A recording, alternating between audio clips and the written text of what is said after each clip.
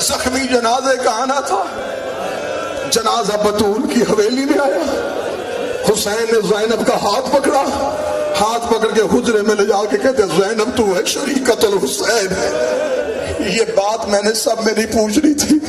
زینب مجھے بتا، جو کفن نانا دے کے گیا تھا، اس کا کوئی اور حصہ ہے۔